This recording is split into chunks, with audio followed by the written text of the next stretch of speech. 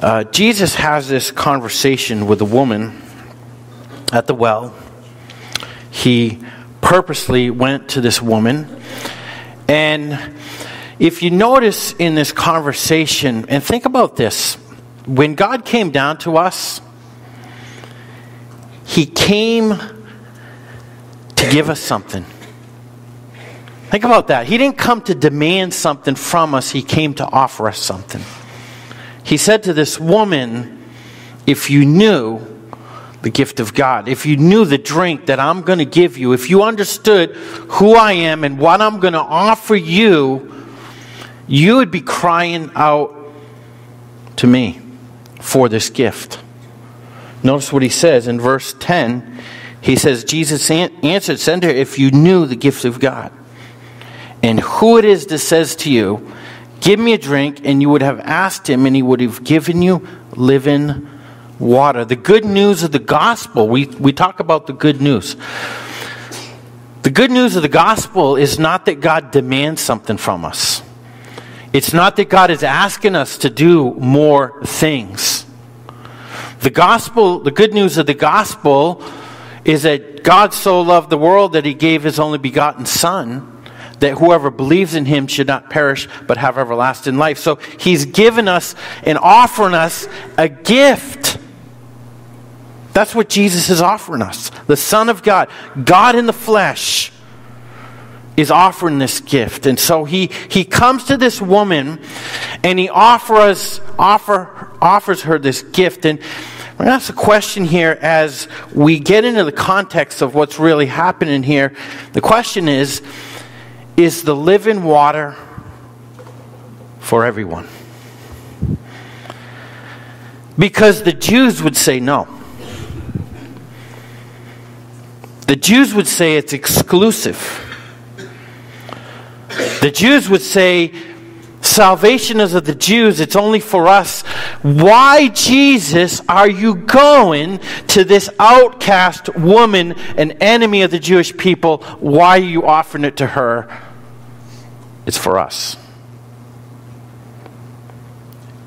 And so, today, in our social media, in our news flashes whenever there's a incident a hot button topic today is race and racial tension and racial problems in our country and all around us and, and by the way this is not an american problem it's a human problem we'll get into that and so we come to this water and we ask the question is this water for everyone?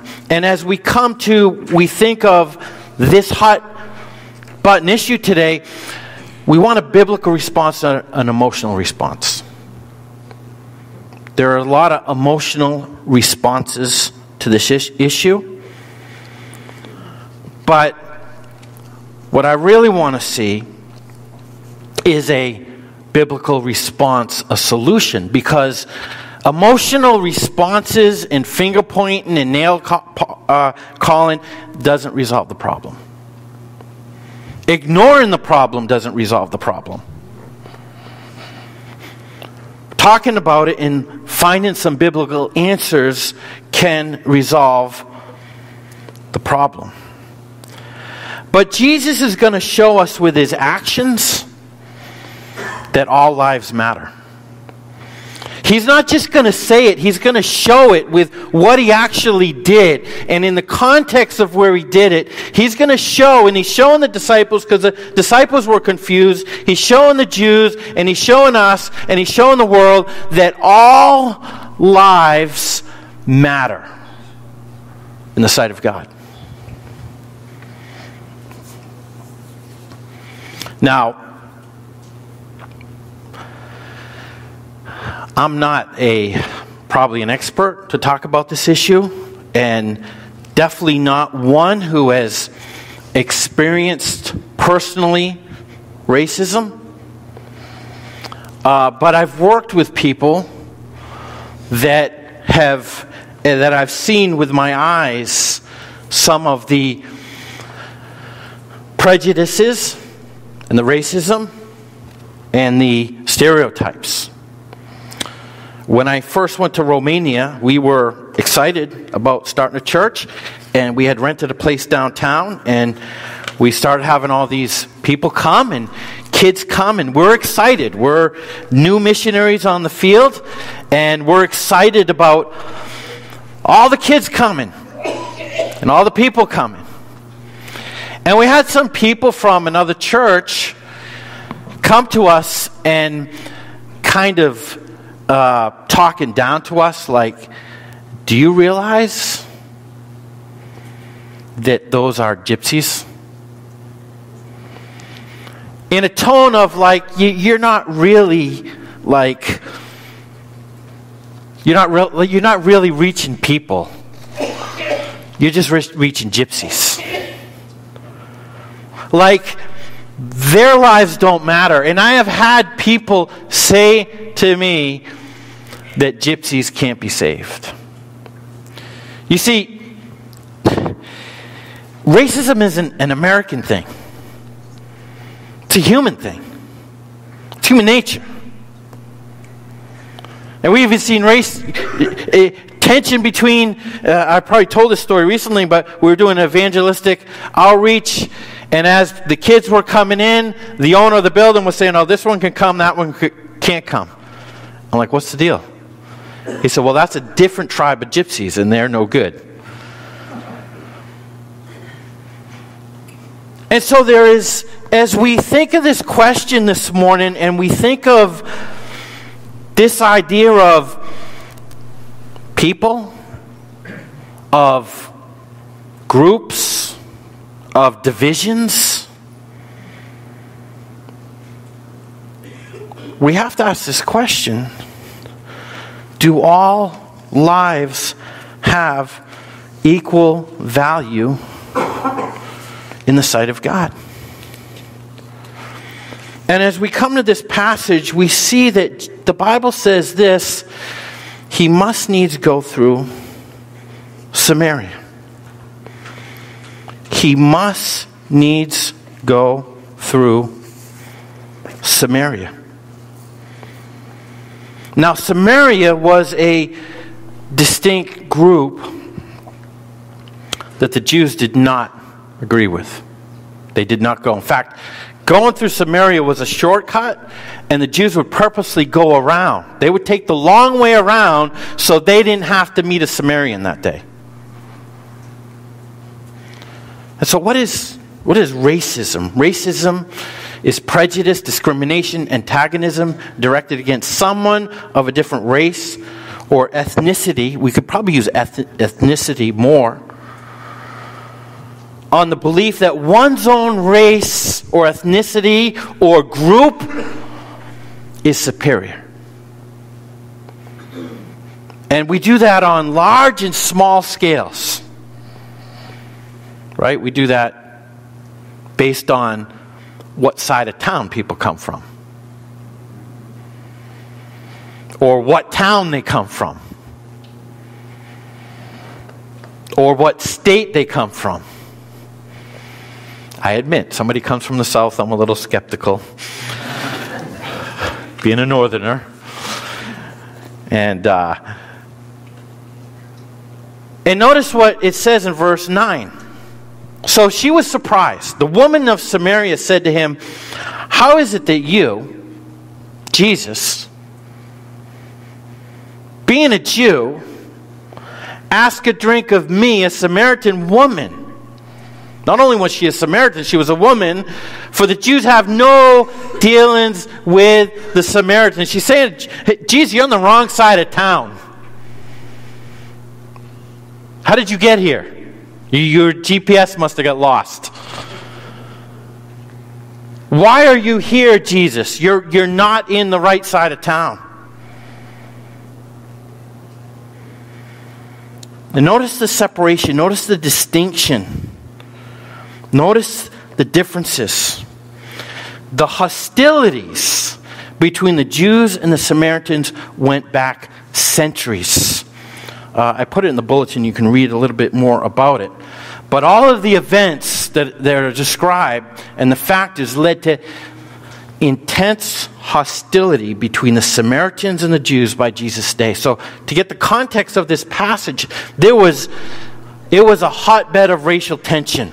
There was hatred, there were bad feelings. And so these the groups of the Jews, religious Jews, Samaritans, they were in racial tension. And Jesus, by his actions, now, this is really the key about what Jesus did. Jesus, by his actions, not just his words, teaches us that all lives matter.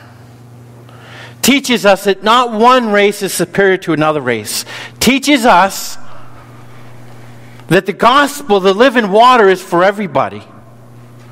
It's not exclusive to one particular person or race. There was actions. That's a key thought today about racism. Listen, this is not, this is a human problem. It's our human heart. It's a heart problem because we're sinners and we like to feel superior. It's also a spiritual problem because Satan wants to divide us, he wants to divide and conquer. He wants to create hate between people. And he will use rumors, accusations, to influence us to riot, to hate, to kill, sometimes in the name of religion. But Jesus said, I have to go to Samaria. I have an appointment with a woman there. There's a woman there at the well who I need to talk to about this water. I have some water of life for her. I have something for her that she needs. And I'm going to Samaria, and I don't care what the Jews say. I don't care what my disciples say. I don't care what anybody says. I am going to Samaria.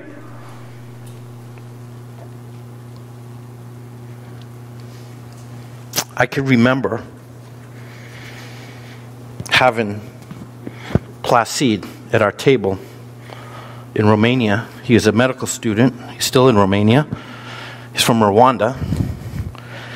Telling us about the genocide in uh, uh, Rwanda. How many family members of his were killed? You realize in Rwanda, uh, there's a movie, Hotel Rwanda, about a man that saved thousands. But there was this racial tension for years between the Tutsis and the Hutsis. And in a hundred day period, 800,000 to a million people were killed. Can you imagine? Satan got the victory that day. But can you imagine that many people being killed? So, where does hatred, where does anger, where does it get us? It doesn't get us anywhere. In Rwanda, it was devastating. And we could go throughout history and look at the wars, and their wars have root in racial tension. It is a spiritual problem. Satan wants to divide us, kill us, destroy us. And there's no greater joy than he can do than to have us fighting against each other because somebody's skin color is different, because somebody's traditions are t- different, because somebody's height is different. They have those uh, DNA tests. And I read about one white supremacist, they did a DNA test. and they found out like 45% was from Africa. We're all the same. We all come from Adam and Eve. Nobody's better. We're all saved by the living water, Jesus. There's nobody more saved or less saved or more superior than others. We're all here by the grace of God. So it's a human problem, it's a spiritual problem, but it's also a religious problem. Racism is a religious problem. The Jews were very religious, weren't they? They had the law of God. They were the strictest keeping the law of God, yet they were very racist. They were Jesus. They did not like Jesus because he he totally tore up their all their habits and all their uh, prejudices. He destroyed them. So they killed him because he really upset their heart.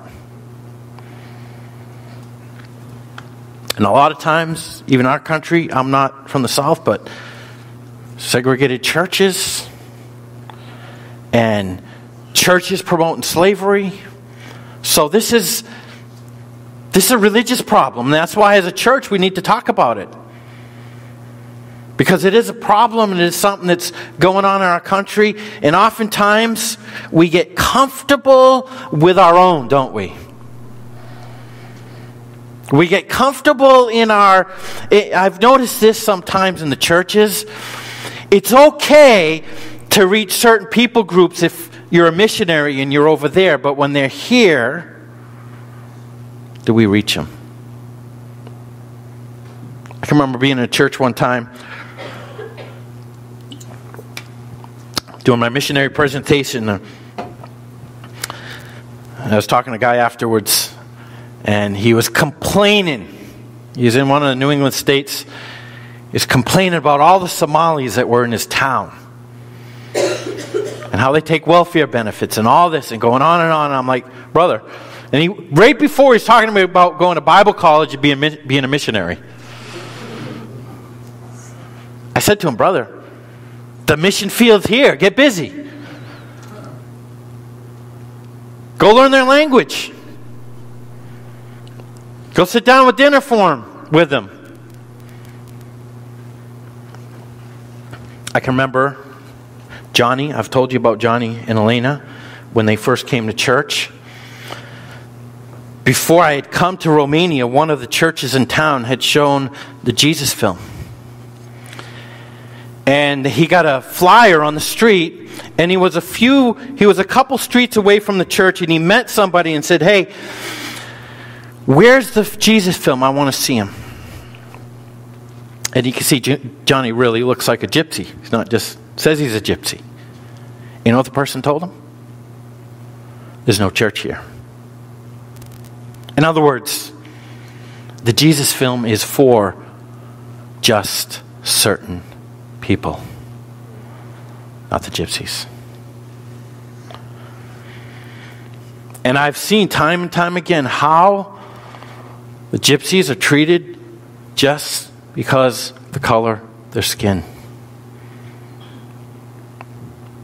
And that creates other difficult problems. But as you can see, Elaine, that's Elena today, and Johnny, they're doing just fine. And teaching their kids in the fear of the Lord. See, God, God wants to give the living water everybody. God doesn't say, look, no, no, your, your skin's a little dark. I, I'm not going to give you the gospel. Or I'm not going to love you. Or I'm not going to seek you. The gospel's for everybody. The gospel's for all people. And so Jesus didn't say to the Samaritan, You must be saved. Jesus said, I have to go to Samaria because all lives matter. Every life is precious. Every life is, has value to me. So all lives matter. Now, listen, we're not going to change society, and you can't pass a law to change human nature. And probably most of us would not consider ourselves racist, but if we really look deep in our heart, are there times when we look down on others because of fill in the blank? Are there times when we think we're superior because we have an education? Because we have a certain job? We have a house? It's in our heart. So, three conclusions this morning about this. First of all, it's not about being a racist, it's about being a sinner. We are sinners. We are in our heart of hearts. We're sinners and we do sinful things and we make sinful judgments. We all do. We all see it.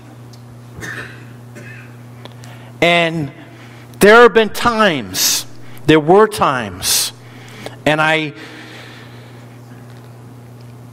mourn because of those times where I let my heart be influenced by certain people to look at the gypsies with prejudice.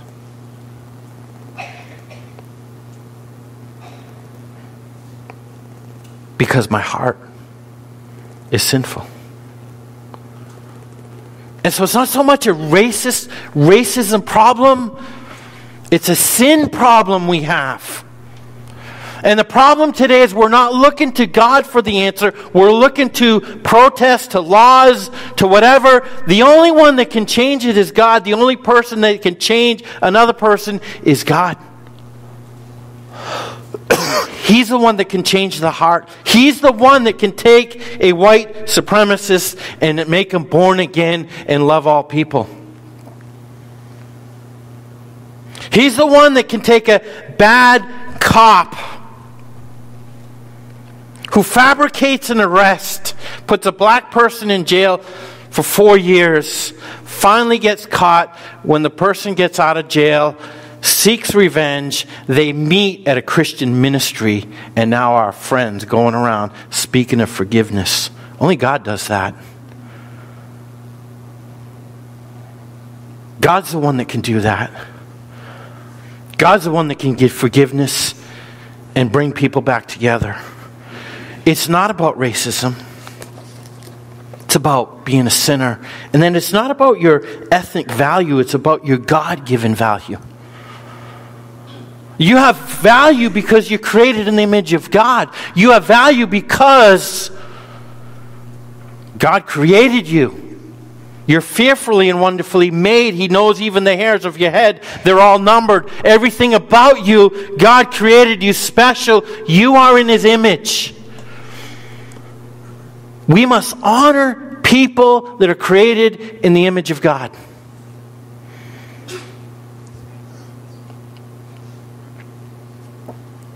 Where do we get this?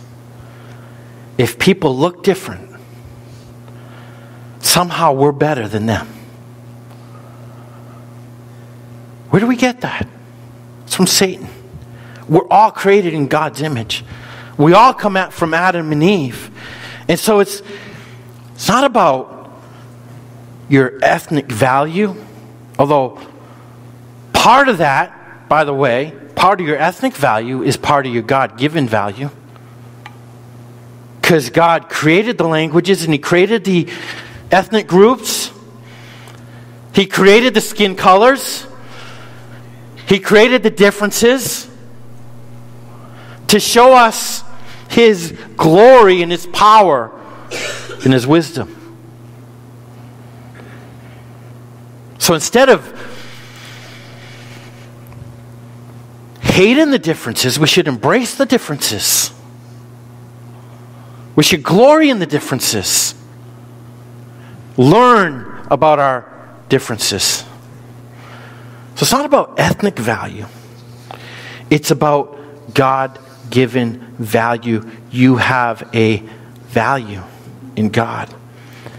And then the third point it's not about tolerance, it's about loving. Like, tolerance is not a good word. Like, my wife's trying to get me to take vitamins. And they're big. I feel like a horse. I tolerate taking those vitamins. Nothing I love about them. We tolerate things. It doesn't mean we tolerate, right? We tolerate the cold. I said to somebody the other day, Oh, I love the cold. What was I? I think I was losing my mind. You're good. I'm good.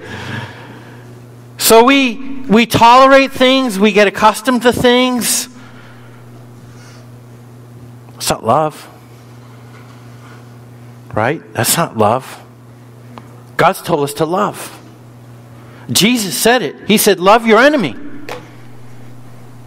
He said, You do good to those that, you know, come over my house for dinner. We'll have steak because you know you're coming over my house. We're going to have lobster. Right? But Jesus said, Go find somebody that's not going to pay you back anything. It's going to cost you something. Might even steal something from your house and give, bring them over for dinner. That's love. That's true love. I've always said you're not a good missionary unless you have stuff stolen from your house. When you go back and look at the picture, and say, "Oh yeah, I remember that." And I saw the kids in the palace with it. But you know what? What does it matter? Just things. It's about love. He said, Love your neighbor, love your brother. We should love everything God puts value on. God puts value on people. So Jesus put value on this woman of Samaria. He said, I have to go through Samaria. I have to go there because there's this woman that needs living water. And that's the gospel. That's evangelism. That's the love of God. That's why Jesus came. Because he values you and he values me. And so it's not about racism, it's about love. And that we should demonstrate the love of God to everybody and we should try even harder to love those that have grown up in this world without love. That have grown up in this world with people calling them names because of their ethnicity. With people not letting them into their group because of their skin color or their poverty level or their clothes, or their intelligence, or their personality. We should say, show these people, wait a minute, there's a God that loves you. There's a God that cares for you. There's a God that you can find hope in. But Jesus demonstrated it through his actions. All lives matter because God has put a value on our lives. Jesus must needs go through Samaria this morning for you. He went through Samaria for you. He died for you. He waits for you. Jesus died for you. This morning we have some people that are coming up for baptism because they've put their trust in Jesus Christ. They said, Jesus loves me, He died for me, I'm going to accept Him as my Savior. This morning, Jesus is offering us the water of life. Jesus loves you. Jesus died for you. Jesus rose again the third day. The Bible says he that has the Son has life. He's offering a gift. He's not requiring you to give a certain amount of money. He's not requiring you to do these certain amount of works. The Bible says, whoever believes in him will not perish, but have everlasting life. The question I have for you is Have you received this gift? Do you know Jesus is your Savior? The other question I have for all of us Do we show Jesus' actions in loving all people, especially the outcast? Do we go out of our way to show the love of God? I think of my daughter working as a social worker in the foster system, and, and we need foster parents. I think of our Awana kids, and I, I just think of the ravages of the society, what a society without God is leaving behind. If we could make a difference, just if you could make a difference, just one life, one neighbor, one kid, one life. Show them the love of God. Go out of your way to say, hey, there's living water. There's a God that loves you. God's calling us to do a work for Him. Let's stand and pray this morning.